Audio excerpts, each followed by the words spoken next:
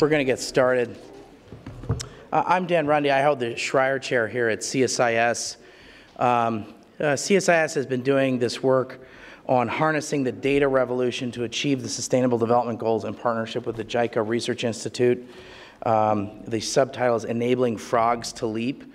Um, you know, I have to say, uh, when I was first presented with this topic, I thought, what the hell is this thing? I mean, statistics and, I mean, I was just like, I, but, and then I read the papers and I still didn't fully get it. I, I knew it, they were onto something. And then we went to a couple of countries and then I understood. And I understood why this is important.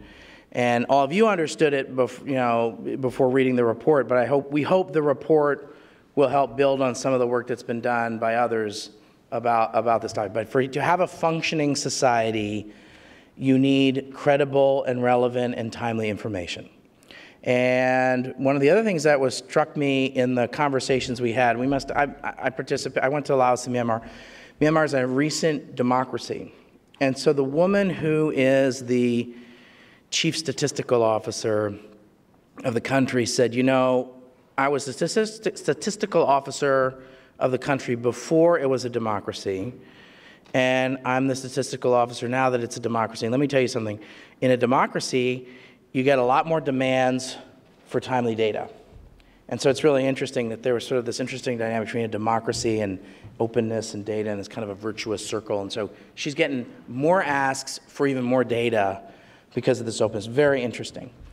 Um, We've got a, a, lot of goals that the world has made um, about uh, trying to make the world a better, safer, healthier place over the next 15 years. The folks who did some thinking about that, including folks like Claire Melamed and uh, Homi Kharas and others, said, you know, we're going to have to kind of track this stuff and see how we're doing, and we actually don't have the right tools for this. And so that's what prompted this conversation. So um, I think we're going to be able to unpack a lot. We've got some really smart and thoughtful people here to help us with this. Um, what we're going to do first is uh, I'm gonna, you're going to hear first from my very good friend Dr. Kitano, who's the director of the JICA Research Institute. Then Dr. Kitano and I are going to have a brief armchair conversation. Then we're going to go to a panel discussion, um, and we've got some really great people. So without further ado, I'm going to turn the floor over to my very good friend, Dr. Kitano. Dr. Kitano, please come on up. My friend. Thank you. So thank you, Dan, and thank you all for joining uh, us today. My name is Naohiro Kitano, Director of JICA Research Institute. Our JICA Research Institute is a research wing of Japanese aid agency, JICA, we equivalent to USAID, and we provide a platform for uh, evidence-based and operational-oriented uh, research activities on international development. So today I will share some of the highlights from our joint CSIS and JICA Research Institute report, Harnessing the Data Revolution to Achieve the Sustainable Development Goals, Enabling Frogs to Leap. So this report was the result of a year of collaboration between our two institutes. So it comes at the time when both the United States and Japan have embraced the power of technology and innovation in their international development agenda. So it also comes as data takes a more prominent position in development practice. Uh, first, let me touch upon the context of this report. The SDGs adopted in September 2015 has 17 goals and more than 230 associated indicators. The data become ever so important to help governments achieve and to monitor the progress of SDGs. So before launching SDGs, the UN convened a high-level panel of eminent persons on the post-2015 development agenda. So the panel called for a data revolution and recommended the formation of an independent body to lead the charge. So this recommendation resulted in the creation of the Global Partnership for Sustainable Development Data, GPSDD, in 2015, led by Claire Melamed, an open multi-stakeholder network working to harness the data revolution for sustainable development. This report defines the data revolution as an unprecedented increase in the volume and types of data and the subsequent demand for them. This revolution is allowing governments, companies, researchers, and citizens to monitor progress and drive action, often with real-time, dynamic, disaggregated data.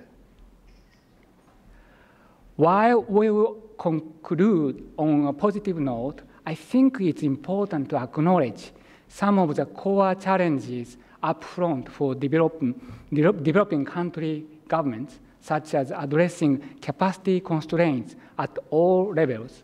Uh, so you can keep those in mind throughout my presentation. Thankfully, developing country governments are not alone. While funding has not increased to the necessary extent, the international community has embraced its post-MDG role in the data revolution. Here, coordination among stakeholders is critical. The SDGs address issues in a cross-cutting, interconnected way. This more collaborative approach raised significant data collection, utilization, and sharing questions. The SDG commitment to the concept of no one left behind also presented a challenge as disaggregated data by income, gender, age, ethnicity, and other characteristics is often unavailable.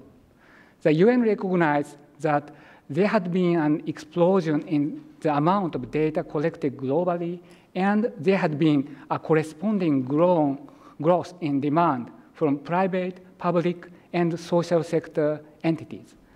So this simultaneous top-down and bottom-up interest in harnessing the data revolution created a unique opportunity for transformative change.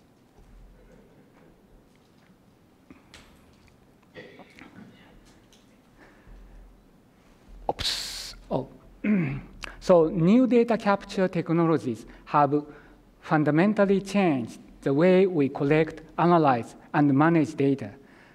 Some of innovations include satellite technology, wearable technology, cellular technology, and mobile banking, and mobile and smart card technology. This report analyzes the challenges and opportunities that ex exist in the pursuit of the data revolution. It considers the challenges faced by two developing countries, Laos and Myanmar, in the broader context of what will be needed to enable leapfrog data technologies to take hold and ultimately drive the data revolution without following the linear progression of development laid out by OECD countries. To achieve this outcome, the developing countries will need to build domestic institutional capacity to use and maintain new technologies. In order to bring about the leapfrog in developing countries, we identified three stages mentioned in this slide. So from here on, I would like to introduce some examples of the development projects using leapfrog data technologies. The first project is the Vientiane bus project in Laos, funded by JICA. Uh, this is a good example of a leapfrog development using existing smartphone technologies and small data. As it is shown in the photo, smartphones are installed on the city buses, and the GPS on these smartphones sends bus information to the central control room. So data such as the bus traffic operation status and the bus traveling speed is used for the efficient bus operation. Moreover, the data also contribute to Vientiane urban traffic management. These data are also shared with the citizens and helps to improve convenience of the bus services. The next one is a project on reducing emissions from deforestation and forest degradation, which uses satellite technology to monitor deforestation and create a database of forests in Laos. Its goal is to address the underlying causes and drivers of deforestation with cooperation in Laos. This photo shows that JICA experts are working together with their counterparts using the forestry monitoring system. Through this on-the-job training, the counterparts will build up their capacities to use satellite information to identify the deforestation area. Third example is a project for development of a comprehensive disaster resilience system and collaboration platform in Myanmar. This project involving researchers from the University of Tokyo and the Yangon Institute of Technology monitors challenge changes in the ground and urban environment associated with the development process and develops uh, scenario analysis systems for assessing vulnerabilities to potential disasters in Myanmar. The system would include flood modeling and prevention, infra infrastructure cataloging, and traffic management, and will present several opportunities for improving Myanmar's data collection and utilization in public policy planning. In addition to the field visit to Laos and Myanmar, the report contains a number of relevant case studies in fields such as agriculture, health, personal ID system, and ICT. One eminent case for ICT capacity building is an ICT program in Kigali, Rwanda. ICT is central to Rwanda's vision for 2020. In order to support Rwanda's national ICT strategies, JICA, has sent a Japanese ICT expert, Mr. Nakayama, to Kigali in 2009. He supported the Rwandan side to establish ICT Chamber of Commerce and K-Lab, a kind of innovation hub, which has served as a platform for capacity building to grow ICT industries in Rwanda. Students and entrepreneurs would come to K-Lab to work on their ideas or projects and turn them into viable business models. At the same time, a graduate scholarship program, the African Business Education Initiative for Youth, ABE Initiative, has provided opportunities for young and talented Rwandans to study ICT at Kobe Institute of Computing in Japan. Based on our research, interviews, and uh, site visit, CSIS and JICA Research Institute proposed six recommendations for international community, such as do not fixate on big data. Small data is good as well. Capacity building is the key, and sharing good practices. So data revolution leapfrog data technology, and the international community will be the keywords for today's discussion. Thank you very much.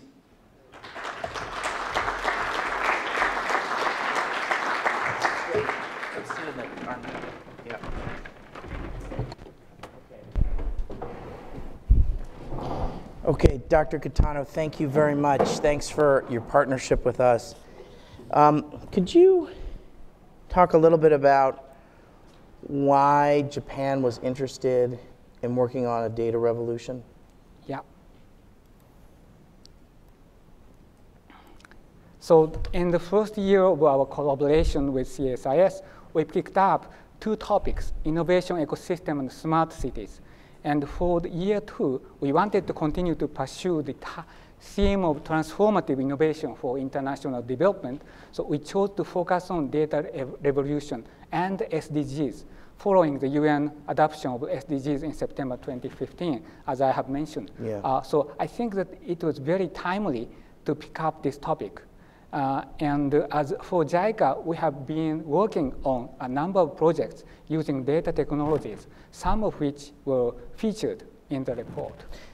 You know, I, when I think about the conversations we've had over the last year, one of the things I, I, take away is that you have a series of countries in the Asia Pacific region that are becoming middle income countries.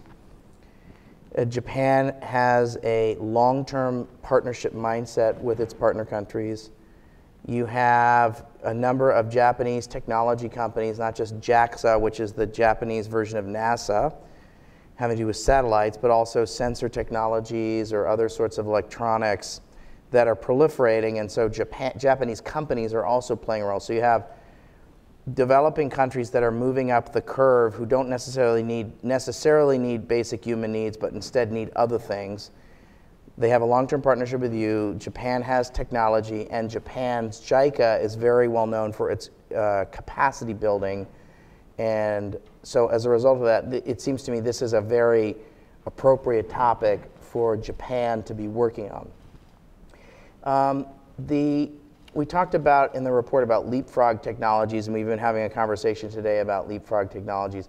Could you talk a little bit about um, leapfrog technology, a, a, leapfrog technology or two that, in your mind, uh, you know, speaks to this to this phenomenon? Are there some things that you think are particularly interesting as, yeah. as technologies? Thank you. So in our report, the leapfrog data technologies are defined as products, ideas, or refinements that have impact potential in the developing country context.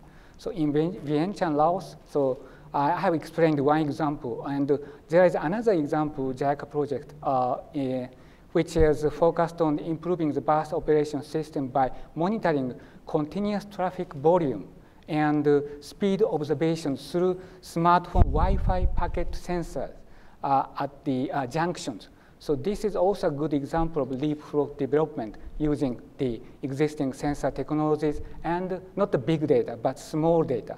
By collecting and analyzing this information, the bus uh, company can carry out uh, its operational management more effectively and provide feedback on the route plan. And it is also possible that this information could be used for the urban transportation planning. Good. I think, uh, Dr. Kitano, one of the other things um, that I've taken away from this conversation is that we've published this report. I'm looking forward to going to Tokyo next week. How is, how are you going to convince your colleagues in JICA to do something about this? Because it seems to me there's, over the last several years, there's been several papers and several things done to sort of say, hey, there needs to be some things done about this. So how, how do you imagine JICA doing something yeah. about all yeah. this? So the international community, including private sectors NGOs and agencies like JICA, is expected to support developing countries to create an enabling environment for the leapfrog. And JICA's new mission statement uh, uh, announced this year also states innovation as one of our core actions. So we aim to innovate to bring about unprecedented impact to the developing world. So JICA's strength as an aid agency is, uh, as you have uh, rightly mentioned, yeah. that it's long experience of capacity building. So we'll continue to work together with developing country, uh, you know, institutions and people to build their technical capacity. So, so, you know, that way, I think the, we could share the importance of topic with our colleagues in, in JICA. What, what, I, what also struck me in the conversation we were having earlier is that your prime minister is leading a, an SDG process. Yes. Could you talk a little bit about that? Because I think that I think the way in which Japan is going to engage on the big data conversation is related to the SDG conversation. Yeah, the, the data issue or data revolution and the SDGs uh, is indispensable. Uh, and uh, the Japanese government established the SDG promotion headquarters uh, uh, the, right before the uh, G, G7 summit. in Japan? In Japan, yeah, in, in Japan. And led by the Prime Minister Abe. And uh, uh, the Japanese government already announced the. I, am sure he's called President Trump and asked him to do the same thing. right. And uh, already we had you know guidelines, and also recently uh, in New York, the uh, we participate the uh, high-level political forum and uh, we the Japanese government uh, participated the uh, voluntary uh, forum to present our uh, principles or guidelines of SDGs. And uh, even we have announced to establish the award for private companies for the sake of promotion of SDGs. And also recent, just quite recently, the uh, Japanese government also announced to uh, the, the provide the, uh, the special fund for local government promoting SDGs within Japan.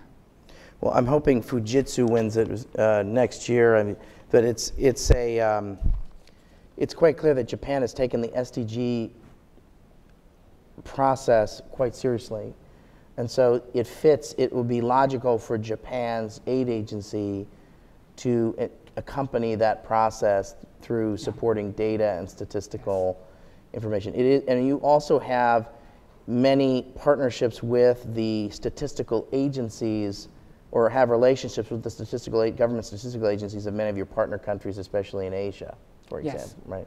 In the case of Cambodia, we have been supporting Cambodia's statistical department uh, for a long time, over 10 years, for the, uh, strengthening the, its uh, capacities uh, by providing technical cooperation. And so that kind of long-term commitment is very important. Uh, I'll tell you, it's just you when Japan is a friend to somebody, you know that they're a reliable friend and they're a long-term friend. And so I know what was really interesting to me when I went to Myanmar was we got meetings that as an American citizen or if I had worked through the American government, I don't think we'd have gotten at CSIS. But because we were going with Japan, we got all sorts of meetings we weren't going to get otherwise. And so Japan ha- takes a very long-term view, and, and JICA takes a long-term view to its relationships. Thank you. So, the okay. So I've got. Um, I just would you just talk? I think we need to spend a minute about the issue of small data. We had a discussion in our podcast interview about what is small data, uh, but I think it's relevant to this discussion about a data revolution and big data and what is small data. You had a you had your interpretation of small data. I'll share mine in a second, but I'd be curious about what, when I say the term small data, because we talk about it in the recommendations, don't just think about big data, think about small data. When you, when you hear that term, what, what comes to mind for you? Okay, as I have just uh, introduced Yeah. two cases, uh, in the case of you know a bus operation system in Laos, Yeah. uh, the the data, the volume of data uh, the bus company uh, have utilizing is not a big data. It's a kind of small scale data. So the data storage uh, is uh, not very big. It- It's And- a, it's a step up from Excel spreadsheets. yes, and uh, uh, I don't know how else to say it, you yeah. I'm But- not a tech person. Yeah. So the but it works really you know well, and uh, so by fully utilizing small scale data, uh, we can you know the achieve uh, many things. Right. I mean, so if, so when I we went to the bus station, I mean, it's a Vientiane bus municipal bus offices are what you would imagine the Vientiane municipal bus offices to look like, but they've got a long-term partnership with Japan. And so now, if you have an app, you can see what time the bus is coming at the corner of 16th and H in Vientiane, and you can track it. And so it's it's not gobs and gobs of data. That's not the technical term. I don't know terabytes or whatever it is, but it's not gobs and gobs, and it's not Excel spreadsheet level. But it's that kind of information is enough for someone to you know to run a more effective city, but also make decisions as the city manager of the bus system to say, well, I need an additional bus on this route or this sort of a thing. All, you know, and you could you you apply that across a city or you apply that across a country, and that's a very logical thing to do. So, so Dr. Kitano, I agree with you that that is one way to think about small data. I would posit the small data one, another way to think about small data, because I think if you say the term big data, I think it has different meanings to different people. I went to six government leaders in one of the Southeast Asian countries. I said, "Do you know what big data is?" None of them knew what it was. Now, maybe it's like an American idiomatic term, or it's sort of a salesy thing that tech companies use to sell their black boxes and widgets and stuff and whatever, um, or Japanese companies for that matter. And so that's great. So they didn't know what it was. But the one woman who was at sort of a UN kind of, I don't know how to describe it, sort of like an aggregator of people to talk to each other about data in one of these countries said, look, everyone comes through, someone comes through here once a month talking about big data. Uh, I would posit, this woman said to me, I would posit it's really about small data. And what she meant by small data, and what stuck with me was, okay, I need uh, when I walk, so when I walked in with some of these statistical agencies, I walked into one. There was a big open room, and there were 30 people at 19th century desks with paper six feet high. There was one computer for 30 people. It was uh, unclear. It was unclear if the, the statistical agency people were literate. It was unclear if the statistical agency folks were numerate. Uh, some, one diplomat told me that it was unclear whether or not, not saying which country, but there was a, that specifically that there was issues about whether some folks could not actually compute an, a, a, a, an average, you know, and that in some instances uh, electricity was spotty, access to the internet spotty. So having all those sorts of things were necessary, were kind of necessary assumptions to sort of our conversation about big data. Now, I think Claire Melamed in her comments later will say, we can't just wait until we kind of get all those folks. I'm not, I don't want to put words in Claire's mouth, but I just say that we can't wait until all those sorts of components are fixed because that's going to take a long time. But we need to work on that too. If we want to fully achieve the yeah. data revolution, we need to leverage these new technologies and these new pools or existing pools of data and use them in new ways. But in order to fully take advantage of it, we need to continue to do the sorts of less glamorous, this stuff, that kind of stuff ain't glamorous. There's not whiz bang technology companies involved. It doesn't have buzzwordy stuff to it. And it's kind of the continuing toiling and the labors that you know, various people who've worked on statistical strengthening have been doing for, I don't know, 20, 30, or 40 years. There are people here probably in this room who've been working on statistical strengthening for 40 years. Bef- you know, and the term big data, or the data revolution term came around three or four years ago, and they said, it's great. Welcome to my world. I've been here for 30 years. I'm so glad you're here. I'm just guessing that there are probably some people in the audience who are like that. So, so I think we got to do both. We can't be all big data, and we can't just all be about taking all those stacks of paper, making sure all those folks' capacities are higher and we have electricity in the, and in the internet, but we need some of that as well. So we need a little bit of both. That, that was my, that's my big takeaway from this exercise. The final point is I want to come back to what I said earlier about um, democracy. I was so taken uh, by this conversation with a woman who's the head of the statistical agency. She was really one of the most interesting people I've met in development.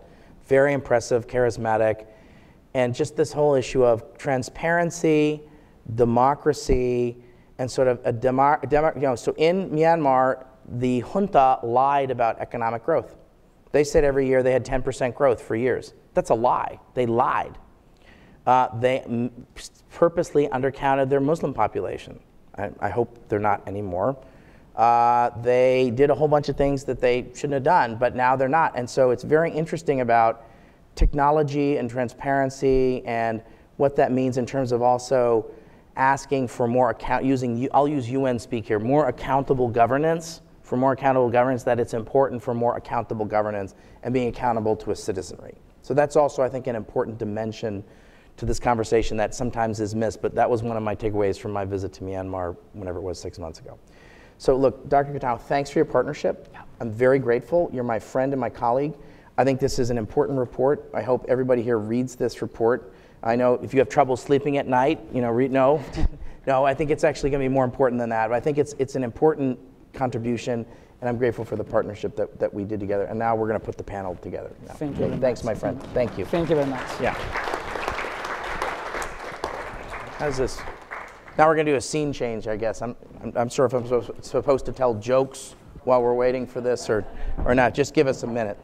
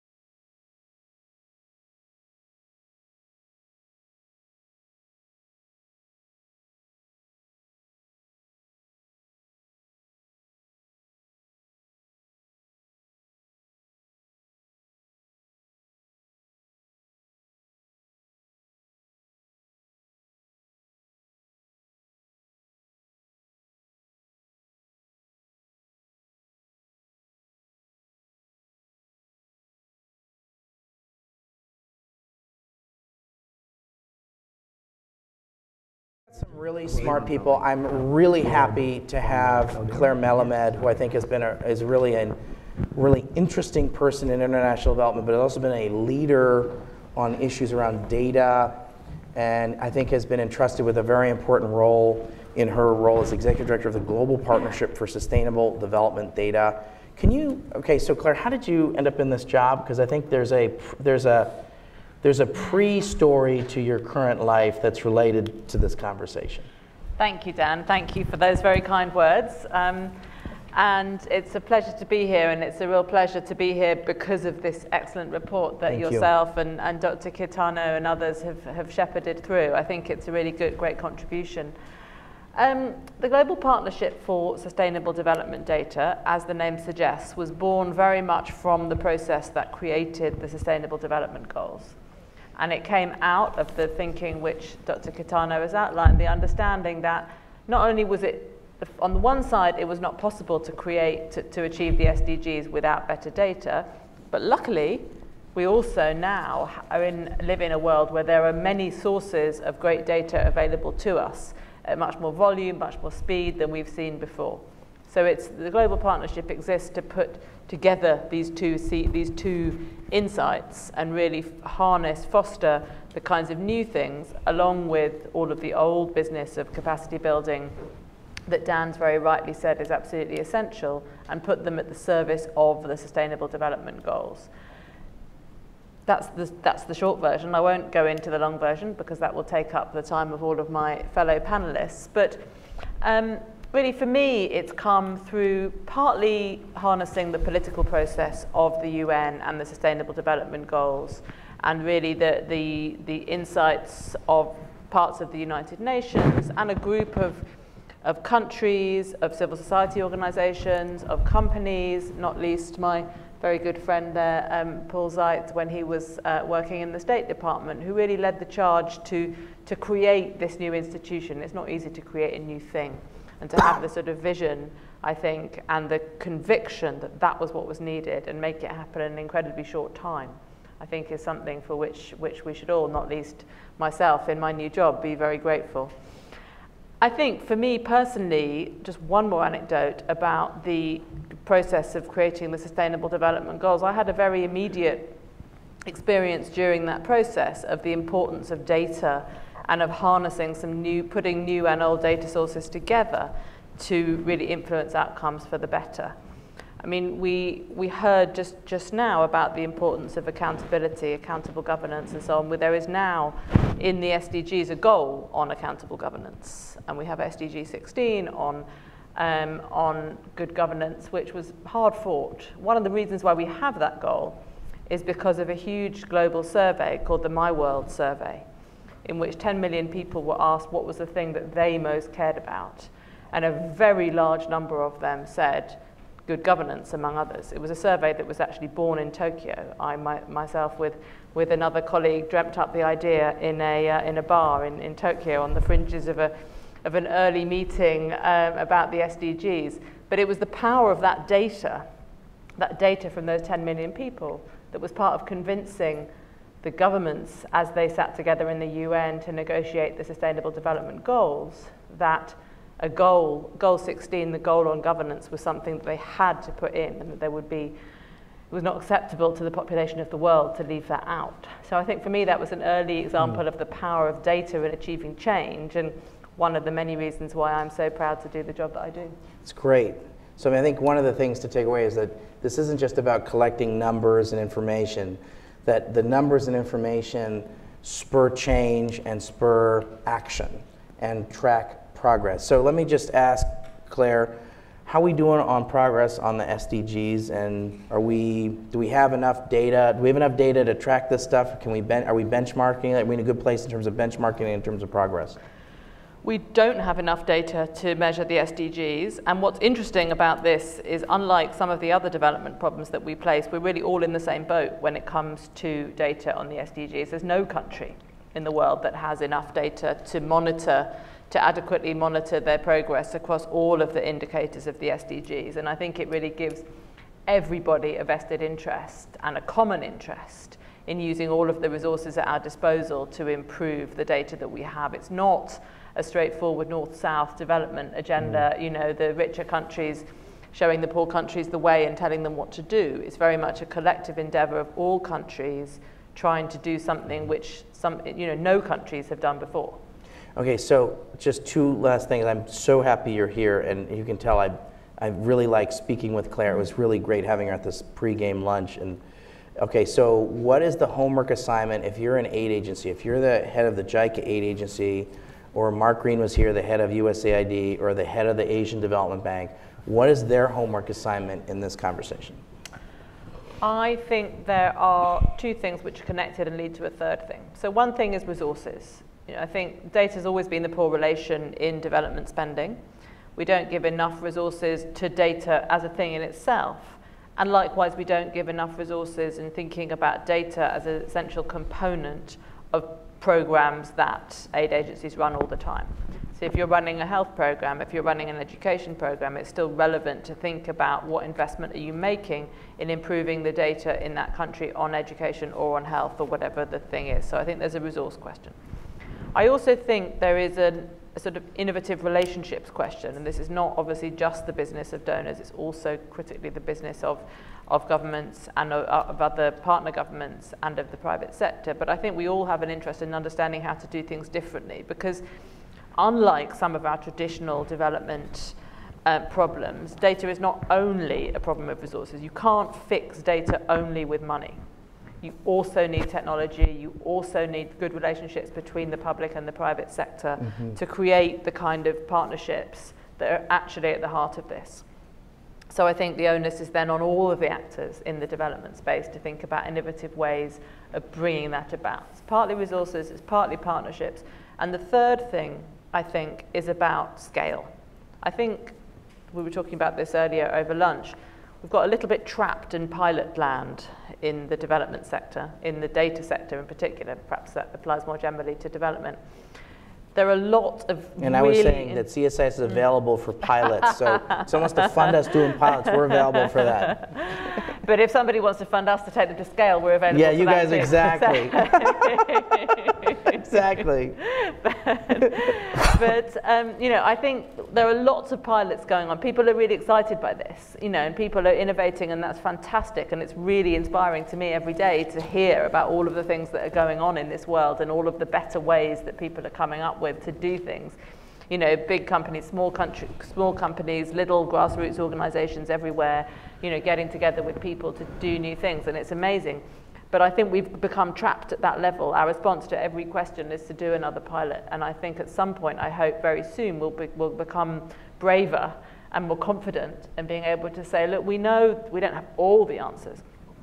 But there are some things that we know work well enough to invest in scale because it's through scale that you get change. Okay, so last question. Thanks for uh, bearing with me. Okay, so Facebook, Google, Cloudera, could be Fujitsu, NEC. There's a whole universe of technology companies that have something to do with this conversation. So, what, how, what is, what's their role in all this? I think they have very, very different roles. And I think one of the big differences is between companies who produce data, so your Google and your Facebook, and mobile phone companies and others who have a very important role in supplying data, but also who have an interest potentially in, in using that data for their own commercial ends, in marketing that, in, you know, in monetizing that data. So I think there's a difficult relationship there, and we have to think about that. There's obviously also a huge role. We sometimes get fixated on the, the sort of volumes of data, and they're pretty impressive. But there are huge things that have to happen at either side of that. There's no, you know, without you can't collect that data without the technical, the technology infrastructure, the wires and the masts and all of that. There's a private sector interest there. You can't actually, even if you were handed that data, you can't use it without the computing power, without the data, the, the data science expertise that will give you the, tell you how to run the algorithms that give you the answers. The data isn't the answer. The answer is what happens when you put the algorithm into the data and get the answer out.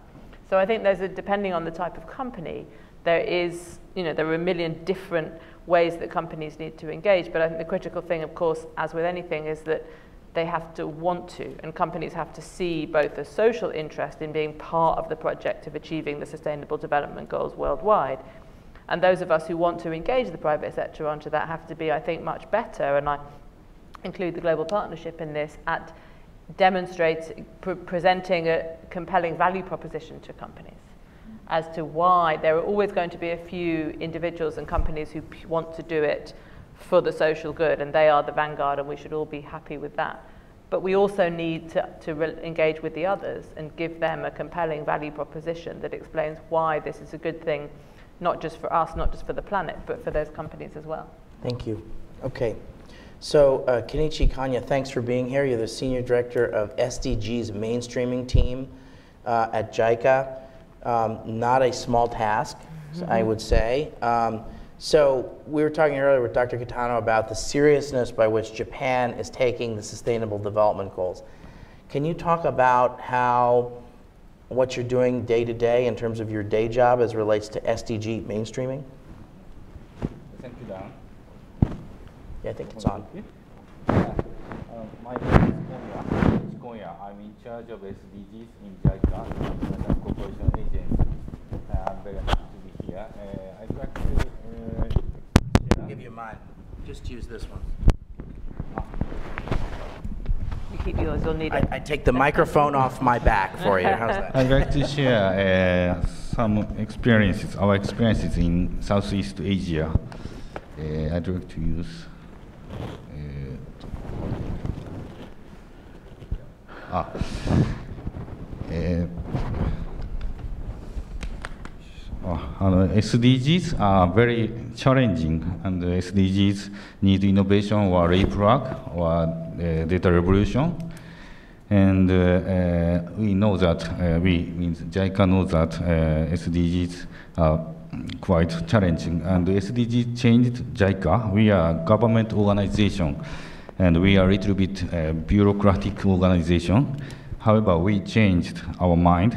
We agreed that we must be innovative to achieve SDGs. Last week, we had a meeting uh, together with all the country directors, and uh, we shared this our strategies. The third one is uh, mentioning uh, innovation and collaboration. For innovation, is very important. Uh, we will focus on it. Uh, today, uh, I'd like to share three projects. Uh, the first one is reducing infant and fetus mortality rate in Chiang Mai, Thailand. We utilized our experiences, Japanese experiences.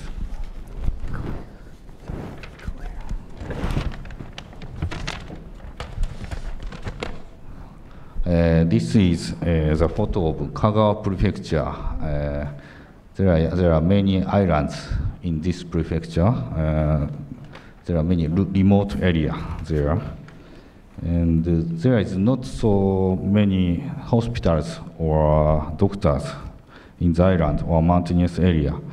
So there, mothers cannot visit hospitals frequently, and doctors asked mothers to use very small equipment uh, in this slide, you see.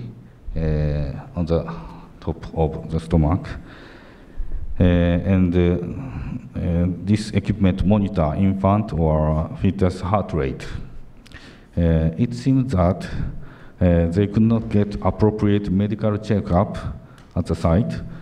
however, uh, the data enabled real-time monitoring of infants or fetus through internet uh, doctors can easily identify high-risk group. Uh, as a result, now Kagawa Prefecture uh, scores the lowest infant mortality rate in Japan. Uh, the best scores in Japan means uh, best score in the world. And we have the worst one, it looks like, on this. no, no, no. Not so good. Uh, they got over the lack of infrastructure or doctors and realized leapfrog with data. Uh, so based on the experience, uh, the prefecture supported Thailand for three years.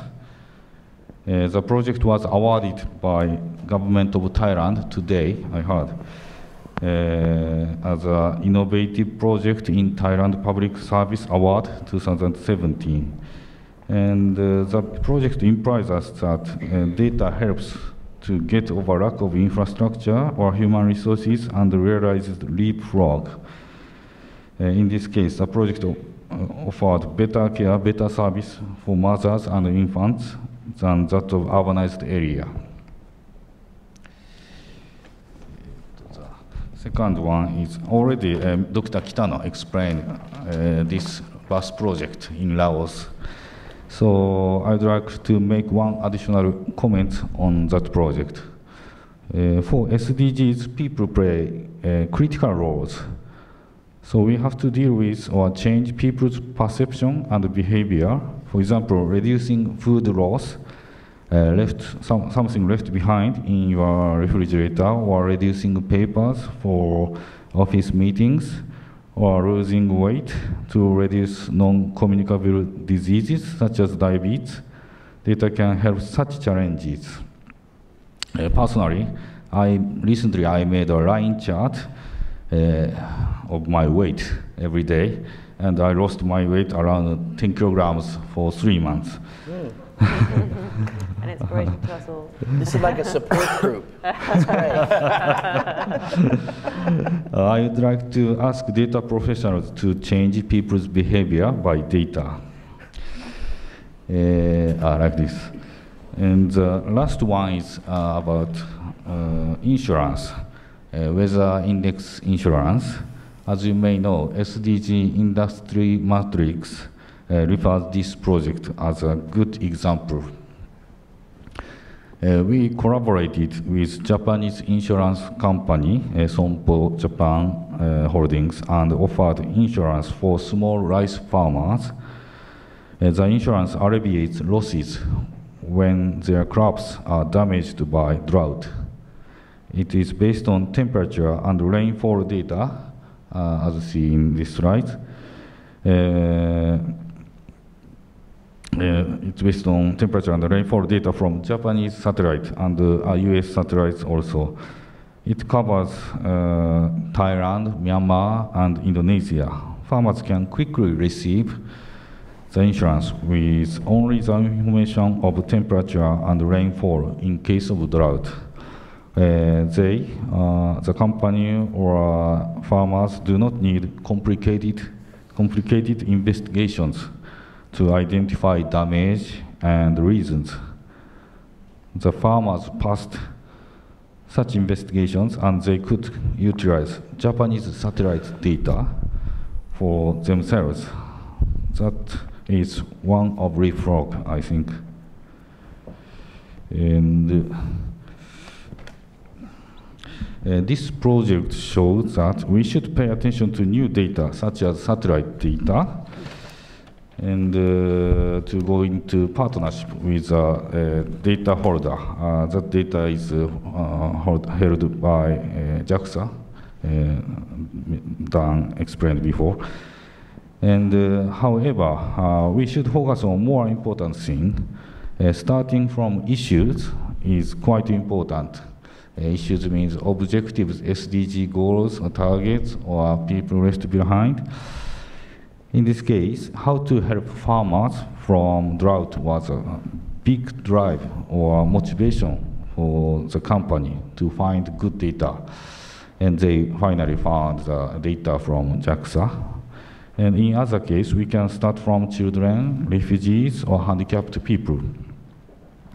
We need both approach, uh, starting from SDGs or goals, and starting from data or methodologies or means, uh, both approach we need. Otherwise, we might not be able to cover uh, some of the SDG goals. We cannot cover all the SDG goals, and we might not be able to achieve no one left behind in SDGs.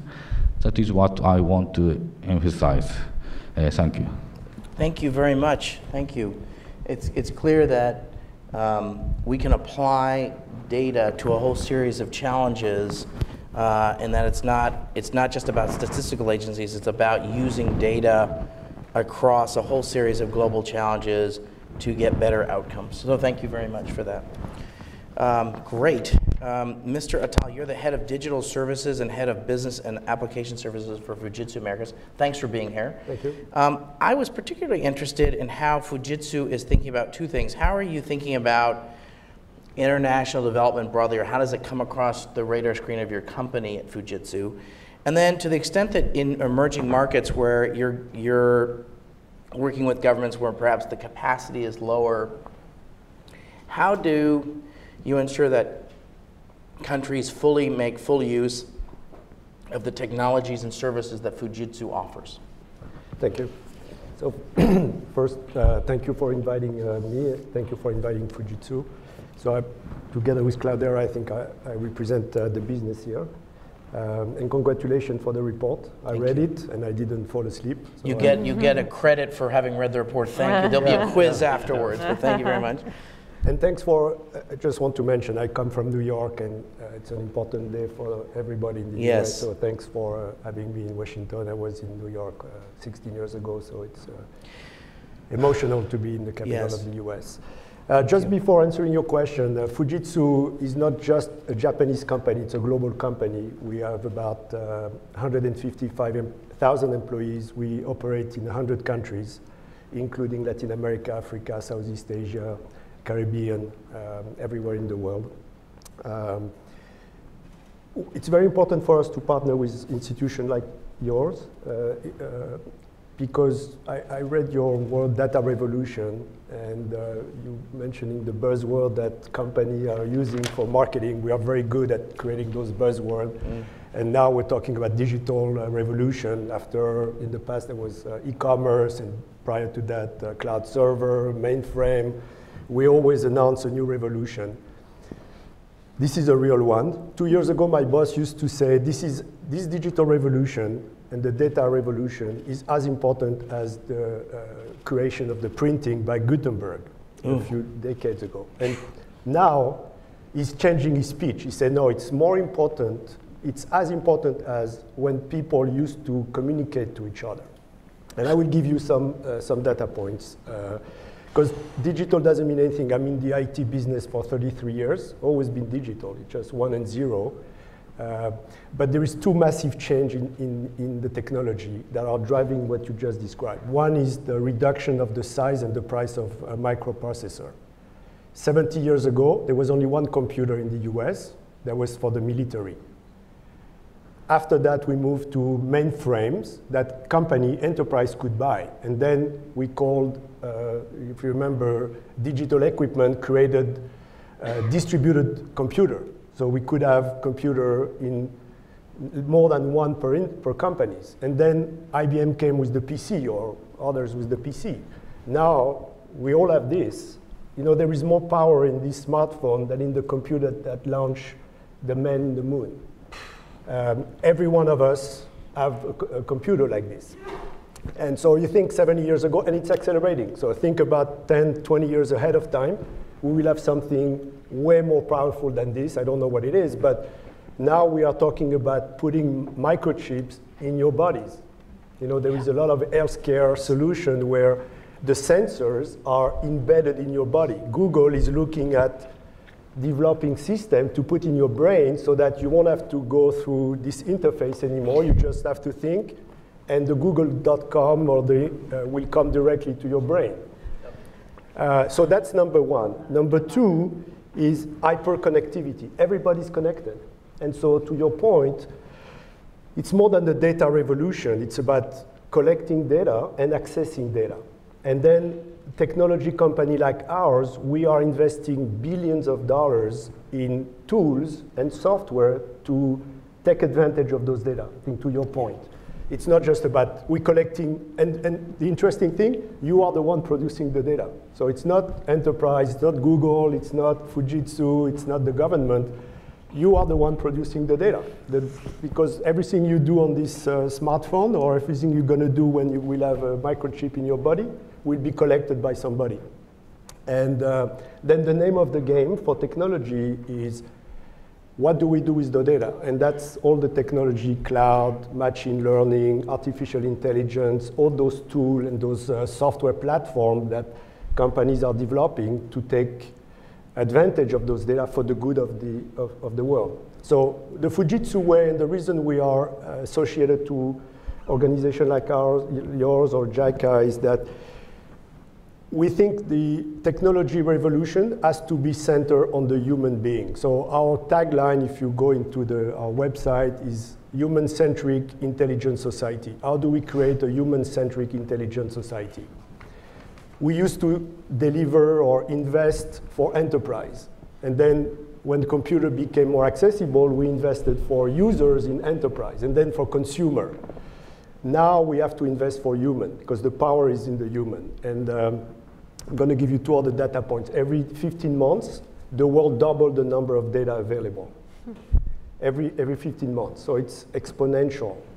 And the other one is we, we're working with uh, scientists at the Singularity University in, in uh, California. And one of them said in his book, he wrote a book about abundance, saying uh, the future is better than what you think. And he said that today, a Maasai warrior in Kenya has access to more data than the president of the United States 20 years ago. Mm.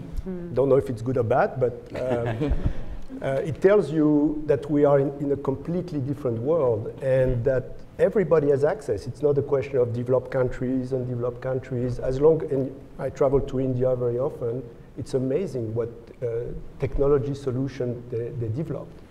Um, and so for us, it's really about how can we make the world better through those technologies. So uh, building an intelligent society, because you get a lot of intelligence from data. So I, I, don't want to go through other examples, but we're working, Fujitsu is working with JICA on some uh, smart agriculture uh, projects uh, where we try to deliver to farmers in every country. We have a project in Vietnam with uh, JICA. We have project in uh, Japan, of course, in Finland, where we use data and uh, data-driven uh, intelligence to help increase the yield uh, of the crops for, for farmers. And it's, it's uh, a macro challenge for the world. You know, as the population grows, how do you need, we need to improve the productivity of food producing to avoid shortage. We are investing in smart cities. Um, you, you, mentioned some of the example, but if you go to Tokyo, Tokyo is one of, I think it's the most populated city in the world. You rarely see a traffic jam. Mm. So it's not like New York. Mm-hmm. Um, so we, we've developed with other uh, technology companies some system for people to anticipate the, the flows and uh, you don't see traffic jams. We even developed with Microsoft a technology that we called, um, and it's not a joke, smart cows, to increase the fertility of cows by uh, leveraging data uh, on their, um, how much, because we, we found that the, the way they walk um, gives indication about their level of fertility. And so we take advantage of those data and same, increase the productivity for farmers. And so technology is, is, changing the world. You probably see that in your daily life. Um, it's going to change more drastically. The, the same uh, singularity uh, scientist, in, he wrote a book that I really recommend called The Driverless Car. Uh, and um, his name is Vivek Wadhwa. And he, he, he, explained where the technology is taking us, and he, he, he paints a, a, a good picture and a bad picture, and saying, if we're not uh, serious and we, if we don't put some governance, the world we are building with technology is Mad Max. If we are putting strong governance, it's going to be Star Trek. It's going to be a, a nice. So, are we going to make Star Trek? Are going to be Mad Max? Mm-hmm. And yeah. technology can bring us in both directions. And honestly, business cannot do that by himself. I don't think government and institution can do that by themselves. And so we, we really have to work together to drive technology for the good of society, because this is what's, what's happening is really powerful. So I, I, don't know, I'm not sure I answer your question, but that was Thank my answer. You. Thank you. Sean, thanks for being here. What is Cloudera? And uh, when I say the term big data and data mining, what does that mean for a company like Cloudera? Sure. Uh, thanks, Dan, for inviting me and fellow panelists. Uh, so You know, I think early, uh, Cloudera recently uh, became a public corporation, and I think early on we talked about ourselves, or the market talked about us as a big data company, or in some ways the big data company. And uh, today, that wording doesn't appear in our about section of our of our website. And, and a big reason, probably the biggest reason, is uh, governments and researchers and bankers and folks all around the world that use our technology, our open source technology, um, use it for a shared data experience is why they use it. And they use it to have a modern platform for machine learning and advanced analytics. So we think of ourselves for that reason. And you mentioned the, the six foot stack of, of paper. Um, regardless of the mentality of the end users or the mission, we look at that as big data, and the subtype is unstructured. We, we would love to take a six foot stack of unstructured data, which we would think of as big data, or a phone that's spitting real time signals about how many folks are on a bus. While, you, while it may not fill up an Excel spreadsheet, the fact that it's real time to us might mean, hey, this is, this is big data. So um, I appreciate, I always say in conferences that when I'm talking about cancer, you can do a lot of amazing things in cancer with small data.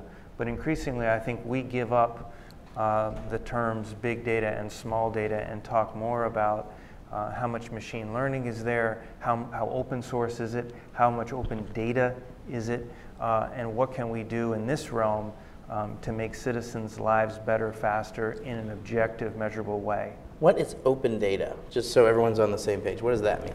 I- I'm sure there's as many definitions, maybe as folks in the room, but ha- I would describe it as, uh, and there was, there's endless uh, dialogues about it, um, that, for example, in the U.S., if there's public funding for particular research, um, there may be mandates that that principal investigator or that research team makes the underlying data they used in that academic peer-reviewed data available for others at a very granular level, the raw data, um, so that secondary, if you will, secondary research could be done on it and additional insights could be made on it.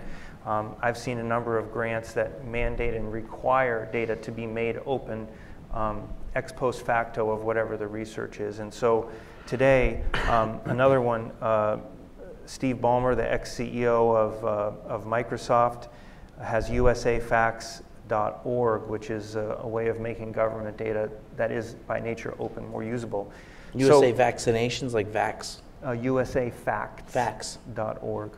Um, and so, so we're excited as an open source company that the more and more open data, and, and the reason, one of the reasons that I never predicted, but I've seen being out in the wild, and by that partly I mean universities all, all over the world, is um, there are data scientists by the hundreds, and these folks have compute and they have access to cloud and they're smart and they're in every continent and they're starving for data.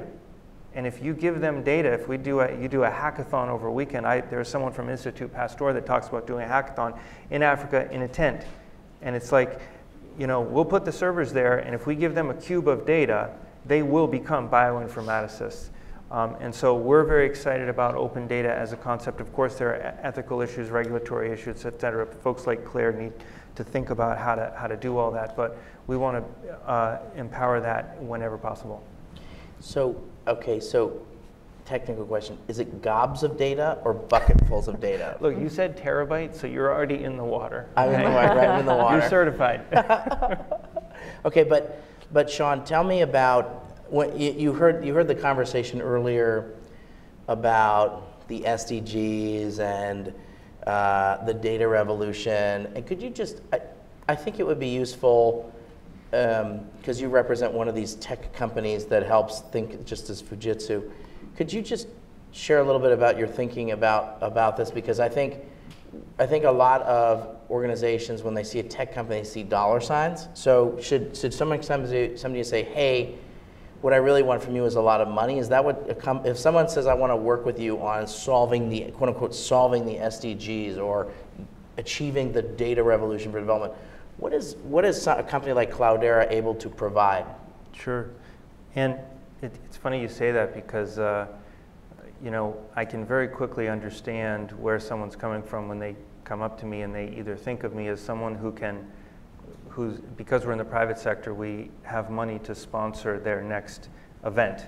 So, so they just I have want a to know vision about of a that. hackathon with food trucks. Right, right, right. So yes, I say yes, we will, we will support that.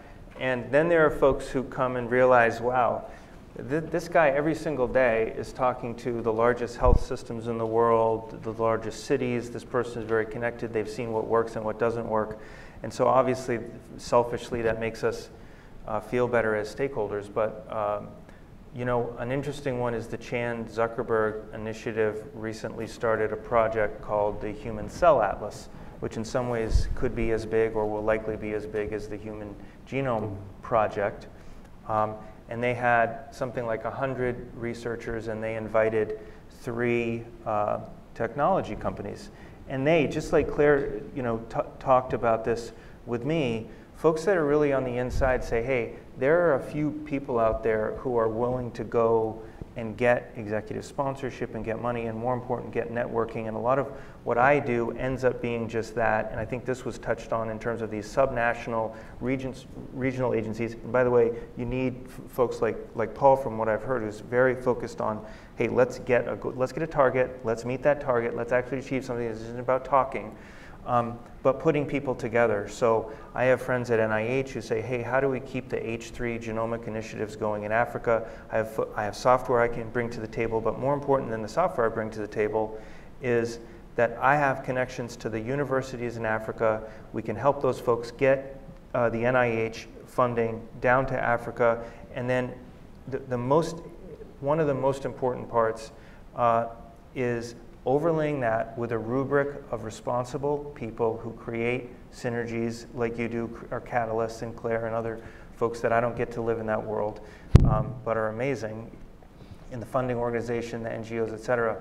Um, so I, I, apologize for, for, um, for rambling in that, but I would say if folks in the audience um, maybe think a little bit more, more broadly about technology companies um, and I, one of the things that I like about technology companies as well is very often the founding fathers of the technology companies have been um, monetized in some way and have to think about their future. They would Their love legacy. to be embraced and brought into the community that, that you guys do because um, it's not always offered to them. Yeah, I actually think I very rarely see that. You know, I think the so I don't know if it's a bias. I'd say the West Coast tech people. Um, I can use that. I'm sure there's a better term than that. Um, we rarely call them, or you know, it's a long. It's, I'd rather go to London than go to San Francisco. I mean, so if you're a Washington person, if you're a Washington policy person, I'd rather get on a plane and go to London or Germany than I'd go to San Francisco. That's a little provincial, but I think that's a true statement. So I think you're right, Sean. I think could I just let me just press you just a little bit further since I have you here. So let's operate as if if someone wants to engage a tech company, it's not about would you please sponsor my next hackathon, and it's about how do I leverage your technology or your networks. Could we just could you just uh, ideate here with me for a second about okay how if I'm Claire Melamed or I'm Paul Zeitz at the State Department or I'm at JICA or the Asian Development Bank, and I really don't know much about exactly what you guys have some black box somewhere, and I don't. Re- I kind of. I'm a smart person, but I kind of don't really know whether the hell it's terabytes or buckets full of data or any of that kind of stuff. How can they play with you? How do they? How should they? How should? How should someone have a partnership with Cloudera? Well, I think um, you mentioned Claire, and I, my suspicion is that, that we're remiss in not already being in the, the partnership. Um, You're And there, there are Right. probably many others that are, are more sophisticated than we are. Um, but I would say that uh, just as, and I know exactly what you mean about, about going out west, imagine um, the perspective from that side of the street. They don't want to come out here. Um, well, but, but, but wondering where, where are you all and why am I meeting you all in Mumbai and London and not on my home turf? And I think it's just an outreach like any other outreach. And I think that they all have causes, but it's more about being part of a community. And I don't want to say folks haven't been invited, but they haven't been invited in a structured way that they understand. Now, here's what, what I would say every single commercial organization in big tech or whatever you want to call it They're working on the same issues as every other organization diversity. How do we get involved? Simon Sinek, the Golden Circle guy, talks about millennials wanting to do something that feels meaningful. You, you all have this amazing asset. You're hooked in and plugged in like they can't be and are not into something that matters. So if you go to them and say, We have a way to make your millennials work on code, but one day a week or one day a one month engage with something that matters, they'll say, Yes, how much? That, Mm. That's it. And because they're not being given those opportunities. Maybe that's the wrong way No, to I'm say it, buying that. That's exactly, that's great. Thank you. You earned your cookie at the, afterwards. Thank you. Okay, Paul, thanks for being here. So you're the former director of the Data Revolution for Sustainable Development at the Department of State. You were there for three years at the State Department. Um, so when I think about Paul Zeitz, I think about someone who toiled in the vineyards, so toiled in the vineyards on data. So, can you talk a little bit about what your past life was, and now in terms of what you were doing? Can you talk about where is the United States in terms of data? And could you reflect a little bit on the conversations that's been happening here? Because I'd say if I think about a Washington personality who's been thinking about development and data, there's a handful of them, and one of them would be you. So I'm really glad you're here. So. Thank you, Dan. Thanks uh, for including me, and congrats to uh, CSIS and JICA for. You did read the report, right? I did read it mo- more than one time. Oh, oh Over the past couple months, a few Fabulous, fabulous. Um, it's a strong report, and um, I am really excited that CSIS is publishing a report with, the, with actually a perfect title Harnessing the Data Revolution to Achieve the Sustainable Development Goals. And the content is real and, and meaningful, so I think it's really important. I hope that Mass Avenue and other think tanks will follow suit and start taking a deep dive into this really extraordinary topic. I don't know if the slides are up, um, Charles? Can we get the slides The first with the slides? Uh, No? Okay. Clicker, clicker. Oh, clicker, clicker. So, uh, forward. You see forward on there? I hope we can achieve a data revolution. Okay, there. Help. So With the I- slides. This is a slide that I'd like to start off with, and I think it's still relevant for this presentation. I, I like to say the data revolution is like the matrix. We cannot know what it is, but can we harness it? I mean, we've already heard from our colleagues about the rapid pace of data production and the rapid uh, state of innovations. I think uh, everywhere I go in uh, develop, the developing world and actually throughout the US government, everyone is trying to figure this out. Um, we can say that the military and intelligence communities are furthest ahead, and we can say the private sector is really far advanced. I would say our sustainable development community, our, our, our sustainable development movement that we're all part of, we're at least 10 to 15 years behind. We're like tadpoles. I know you want to leapfrog, but I think we're tadpoles swimming in circles still. Um, how did you do that? Sorry. Next slide. Just even this whole, like the whole slide thing, it's like a, Yeah, it's like sorry. a metaphor. I, there's, there's no forward. This- Oh, did you this try that? Okay. Yeah, what you got to So, I mean, uh, in the US government, um, I went into the government during the fourth quarter of the Obama administration, and they were preparing to negotiate for the Sustainable Development Agreement and the Paris Climate Treaty. And uh, there was a lot of discussion about what, how does the government respond to these commitments that we were making uh, around these very important um, agendas. And so we um, were able to uh, mobilize a political commitment from the Obama uh, White House to advance uh, data revolution for sustainable development.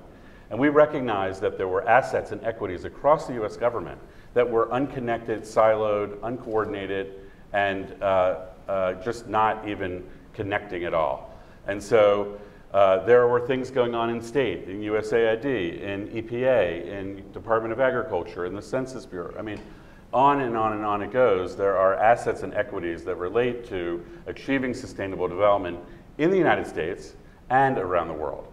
And so there is, I would say, we're still in an early stage of even understanding the vastness of what's possible and, uh, and then applying it towards achieving sustainable development. Um, I'm proud that uh, the US government was the first country to report its baseline data last year, September in 2016. We reported our, 20, our 2015 baseline. It's incomplete. We can't report on all the goals. We have data gaps, we have data challenges. And now, uh, you know, a year later, there's about uh, maybe a half a dozen countries that have started to report their baseline data. Um, I, you know, we're two years into this 15-year political commitment around Sustainable Development Goals, and only a handful of countries are reporting their baseline data. I think that's a huge gap, in my view. Um, in the US, it, what is exciting, and we have Cynthia here from BREAD, there's a US domestic SDG coalition that's pretty vibrant. And there are cities like New York, Baltimore, San Jose, California. I just learned Washington, D.C. is now picking up the steam, and others that are really trying to adapt the goals for local implication. So, to your point about what companies can do, like the SDGs aren't being achieved anywhere. We have poverty everywhere. We're not getting everyone in school. People aren't getting health care. I mean, on and on. A data driven response to our challenges here at home and globally is a critical opportunity, I would say. So get local, bring your capacities to solving problems wherever your company is based. I'm sure you know they are not achieving the sustainable development goals in most of those places.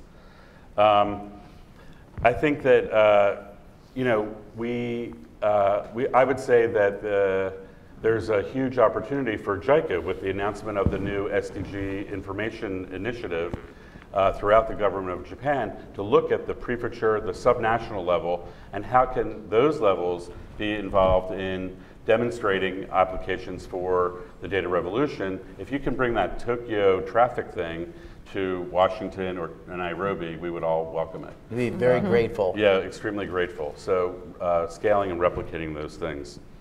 Um, this slide, I mean, we talked about, I think the challenge that I, um, I'm, I'm struggling with right now is that in the government, they're huge bureaucracies. We have uh, hundreds of statistical agencies and programs. There's you know, more than terabytes of data that are being used. Administrative, financial data, statistical data, program and survey data, and uh, large, large assets and eff efforts underway with geospatial and Earth observation data, and applying it to sustainable development, but it is a cacophony. It is like all over the map. It's a jungle out there. And uh, we need to figure out how to transition from a cacophony of data into a symphony of data. And I think in the symphony, we have to bring in the private sector big data.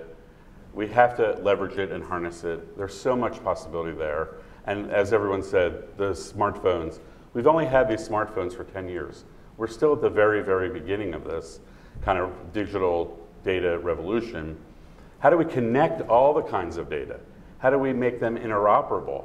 And Claire's leading a working group with the UN on making data interoperability uh, a top priority and developing an agenda around that. And that's a challenge for our company colleagues. How do you help us achieve interoperability so we can achieve the SDGs?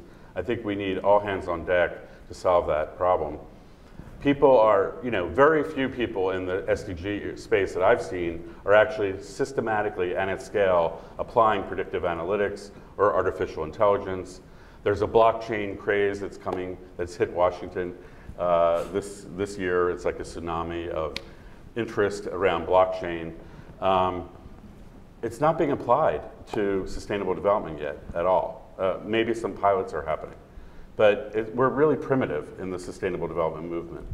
And um, I hope that this report and all the work that uh, Claire's doing in mobilizing stakeholders, we have to make the way forward concrete and tangible though. You know, we talk about the capacity gap. Well, in my world, in the global health world, you know, it's not just about capacity development for capacity's sake. It's because you want to save lives or you want to get something done in the world. And so the SDGs offer us an opportunity to set time-bound, measurable goals and targets, mobilize all stakeholders to say what they want to get done by 2020, say. Um, you know, we have 30 months till December 31st, 2020. Let's, no one is talking about what we're all going to do together to get something measurably done by the end of uh, 2020 as an interim step towards 2025 and towards 2030. So I'm actually uh, wanting to ask all of you, how do we take all the uh, goodwill and political interest and technological and operational capability, and how do we connect everyone into a symphony of action towards measurable time-bound goals and targets for 2020. Like, let's just do it for December 30th, 2020. Great. Let me get, I'd like to call on one or two folks from the audience who've been very patient. I'd welcome a couple of comments from the audience. If not, I'm going to happily, uh, uh, I've got a couple questions for this group. This woman here and this woman here. Two of you. My name is Jerry Hush. I'm a sociologist who has worked for over 30 years in the UN system and who actually has been dealing with this issue all the way from the MDGs, now currently uh, transformed into the SDGs. And I'd like to thank everybody on the panel because you're bringing to the audience issues that myself and hidden, I'll call us the hidden others, we're the ones trying to deal with this. Um, I was the UNDP accountability specialist. I worked for UNICEF as the accountability specialist. I've worked for WHO and FAO. I understand data. How do we make sense out of it? And what I'd like to hear, because I personally think, and I actually know, having worked a little bit with Paul, I think that there are solutions that are being discussed about how can we move from a cacophony to a symphony. And one of the frustrations I know my team feels, and this was a team that was built, actually, I would like to thank JICA because we were with the A- Africa Adaptation Program, which was JICA funded. Huge project in over 13 nations in Africa, and we worked in six of those to bring together data across various ministries so that we could address highly complex issues. So I think I would like to hear how are you in the panel recognizing people like me in the laboratory and how can we better contribute what we're doing and little pieces and raising hands how is there perhaps time for um, a meeting where those of us who have been struggling and seeking to come up with what I call a data standard, the ability to work with complex social system data with a single way of making sense. So I'd like to hear some um, solutions to where we are. Let me just get this other question, then I'll ask the panelists to respond.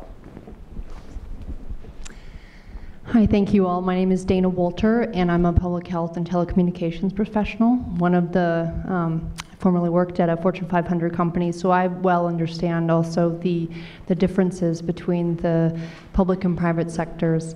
Um, and I'm very happy to be here. Thank you all for hosting, and for the panelists for for sharing your knowledge. Um, with the experience I have now, one thing that I've noticed in this conversation and having looked at the report, and perhaps I missed it in the report, but I would have a conversation for you all, particularly for Cloudera and Fujitsu, and I believe the State Department, Paul, you just mentioned blockchain. Um, the question of security and what do we do to secure the data that we're trying to um, capture in developing countries as we're training folks in developing nations to um, improve their lives. I particularly was interested in the, the bus example in Laos and how immediately came to mind an idea of, you know, well, this data could be hijacked. Next thing we know, the buses could be used for, you know, different means than we would like, right? Public transportation gone bad. Um, so I just wanted to put this out there, food for thought. Um, and I know we, we can't have this conversation um, completely. It may be another you know link, but I know definitely in the private sector, particularly in tech companies, security comes in the same breath as data. Data and security are one, and in fact, security is one, data is number two. So I would ask and challenge all of us in this room mm. and the panelists what we're doing to secure data in developing countries and in the U.S. as we proceed forward. Thank you. Thank you. Two great questions. Thank you. Can I, Claire, can I ask you to go? We'll just go down the row here, but I, Claire, I'll give you. Sure. I mean, I think um, to, to start with, with Jerry's point about bringing in the insights from academia and from the, um, the, the kind of all of the great work that you and others have been doing over many years. I mean, I think this is really, for me, this is the same question as we've implicitly been discussing on the panel of, you know, the, the challenge involved in bringing together different types of organization, different, different types of people with different ways of communicating, different incentives, different histories, uh, you know, different sort of uh, employment histories and different understandings of what is the important question and different time frames, you know, you, you name it, everything is different. And I think just as it's not always easy to set up a constructive dialogue between a government and a private sector organisation because often they're facing very different incentives and very different understanding of the nature of the problem. The same is often true also of academia and I think it's just a question of us all being able to frame the question and the way that we have the conversation in ways that is going to work for the different types of organizations that need to be in the room. It's a challenge. You know, I sometimes think this whole question about the SDGs and partnership, you know, we throw around this word partnership and partnership and partnership, and it's, you know, we're all talking about it all the time. But we kind of act as if it's really easy. But if it's really easy, then there wouldn't be a need for a global partnership because we'd be doing it already because it's so obviously important. So I kind of think what we need to do is find the most difficult partnerships because those are the ones where an organization like mine can most add value because those are the ones that wouldn't be happening anyway. So I kind of think if it wasn't difficult, then we wouldn't be having to do it. That's not quite an answer to your question, but I think your question is actually the same. You're bringing a different constituency into the same conversation that we've um, that we've been having, and, and importantly so. And I think sometimes it's hard for you know I in my previous job I worked at a, um, a think tank in the UK. In fact, there's a former colleague here, um, and uh, you know it's not always easy to get heard as an academic. You don't have the same people don't need to listen to you in the same way as they need to listen to a big company or a government representative, but you know, I think it's, the onus is on all of us to bring the best information that we have to solve the problem. That's the first one.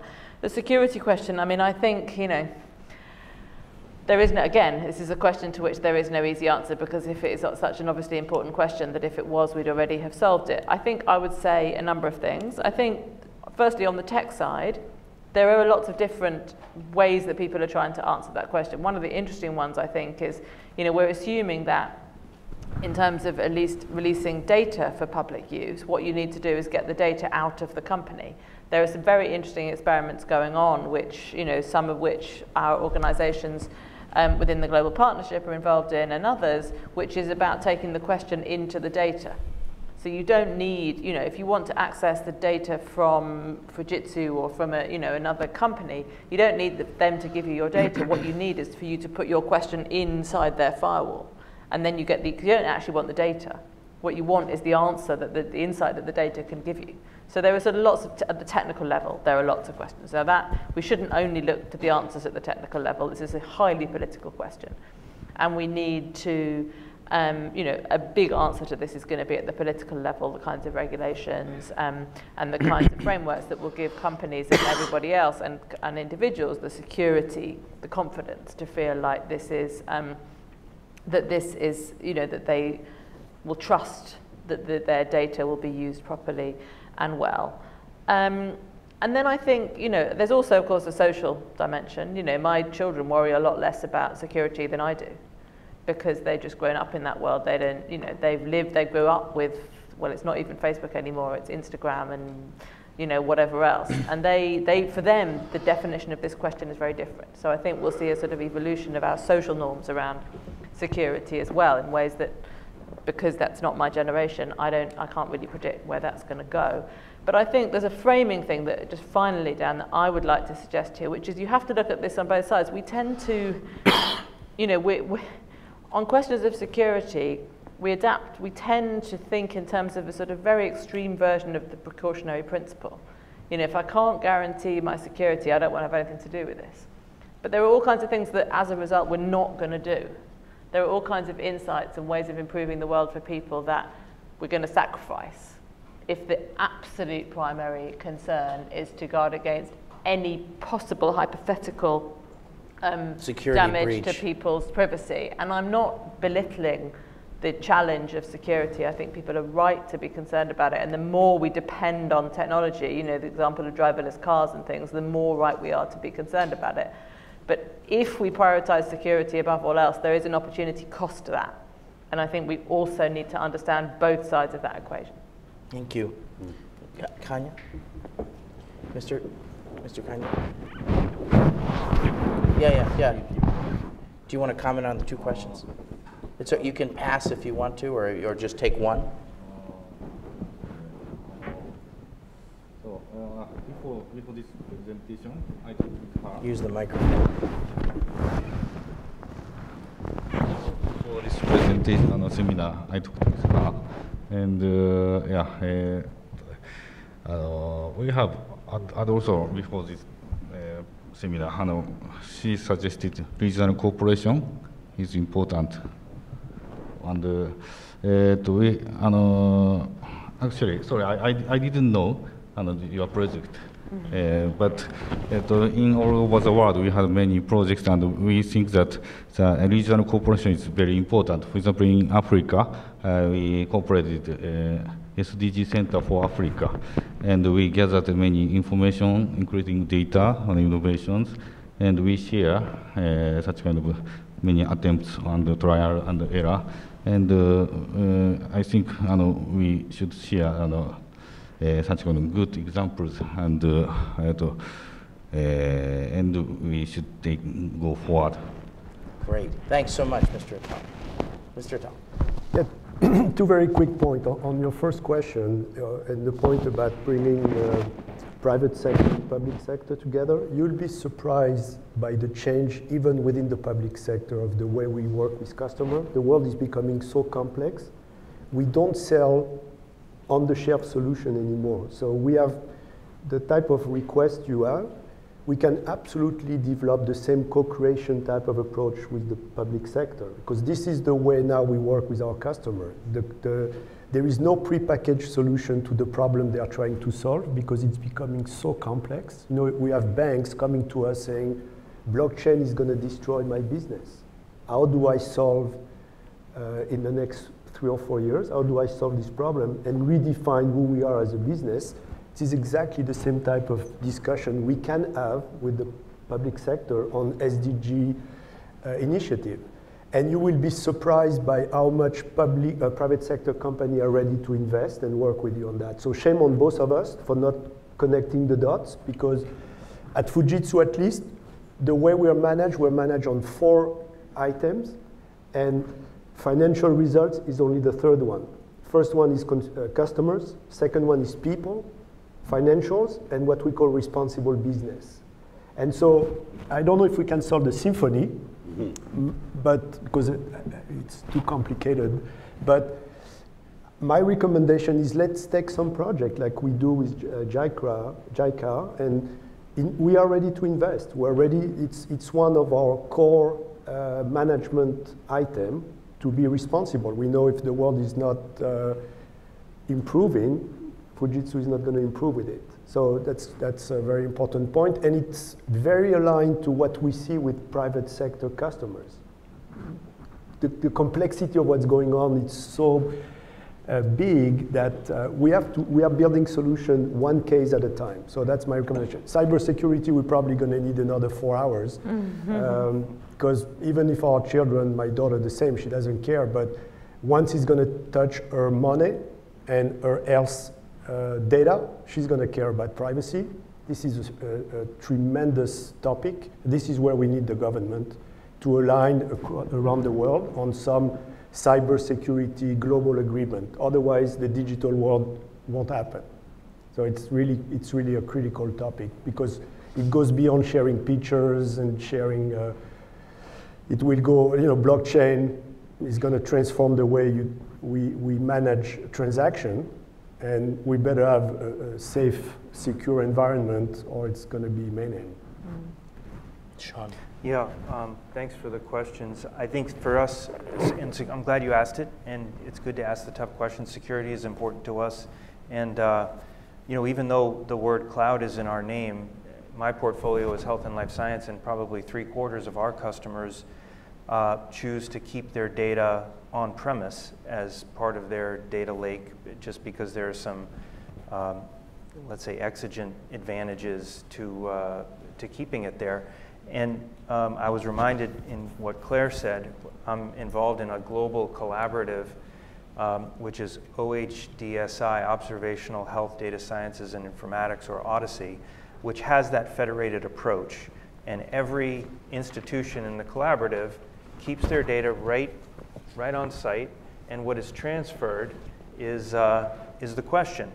Mm-hmm. And every, everyone keeps their data in the same model, uh, which ensures that when some researcher asks a question, uh, they can send that question out and you run it on your own data and you send the results back and it's up to the principal investigator to, to, to, aggregate, uh, to aggregate those results. And, um, and it's an open source community and, and it works. And uh, it would show probably extreme naivete for me to ask the question of could there be some sustainable development goal that has an open source data model of water quality that every country implements on premise and spatial epidemiologists or, or sophisticated data scientists that work for Paul or our Paul create a query and then just send it out to the countries and all the data comes back to Davos or Brussels or wherever you guys call home.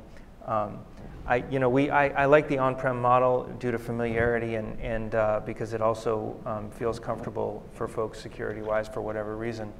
Um, and we see huge um, advantages in, in many organizations that feel super comfortable and more comfortable uh, in one cloud or even more so, so that one cloud vendor isn't uh, too big to fail, um, having multiple cloud uh, storage vendors. But, but yeah, federating the questions out to data in place seems appealing to me.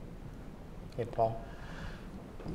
I uh, thank you. Um, just uh, on Jerry's question about like how do we build on what we've already done. I mean, I'm going to take the uh, re the response in terms of uh, how do we fill the financing gap that you outlined in your report. Hundreds of millions of dollars of a financing gap uh, for the data revolution for sustainable development. I personally think that's a very lowball estimate of actually what is needed, um, but at least it's there.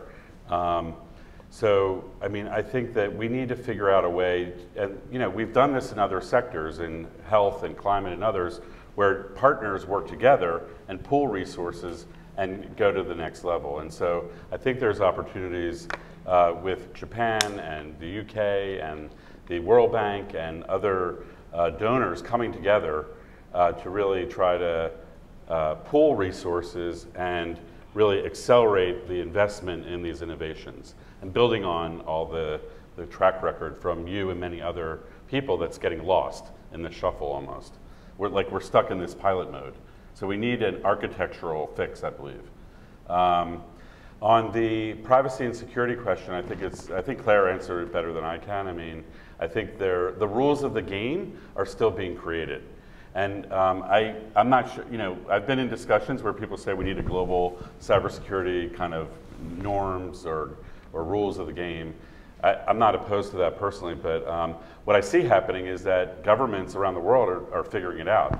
I know in Africa there are governments that are developing these rules now about how private sector can even run algorithms on their data and make data products available for public good. My response is similar to Claire's um, in that these global goals are the first time ever in human history that we have uh, brought together time-bound measurable goals and targets to advance and achieve uh, social, economic, and environmental justice. And so if we believe as people on the planet at this time that we are living in that moment where we're it, we're the ones that we've been waiting for, and we're the ones that has to actually get our act together into a symphony of coordinated action, then let's write the rules of the game where we're actually trying to achieve the SDGs. If it's just about like, you know, privacy and security versus open data, it's a very technical, and it, I've been in years of those discussions. They're very circular and they never get you anywhere. So if we change the dialogue and say, we as a species living now on Earth, we want to achieve social, economic, and environmental justice because we see the threats to our existence and to the planet.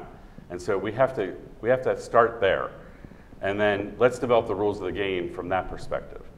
And you know, I, I think Claire's leading a lot of that work, and we need to go further and faster.